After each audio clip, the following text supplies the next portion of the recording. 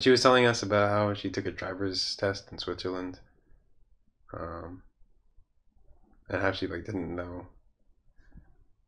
Uh, her like French wasn't that great, and so like there was like this big table with like uh, like a diorama of a city, um, and like everybody who was taking the driving test, we just like was stood around the table, at once, uh, and the the examiner just took like a little toy car, and then like did something, like he like motioned on the table, Like the path you were the, supposed to do. the, the path or something like that, right? None of it like um, not what you were supposed to do. Like part of the test. Oh, okay. And he and then he asked, "Was this the right thing to do?"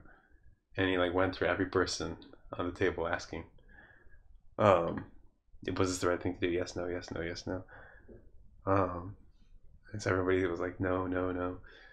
And then he got to her, and she was like, "Uh, yes." and then he was like, "Okay, you are free to go. You got your license."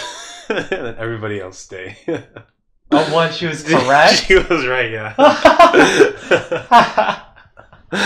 and so she got her license. Oh man, what, I mean, can you? Oh What a lady! Like, uh, what lovely people, really. Um, That's hilarious. I, I wish I wish we got to speak to her more. Really, I mean, we only got that, that little bit of time.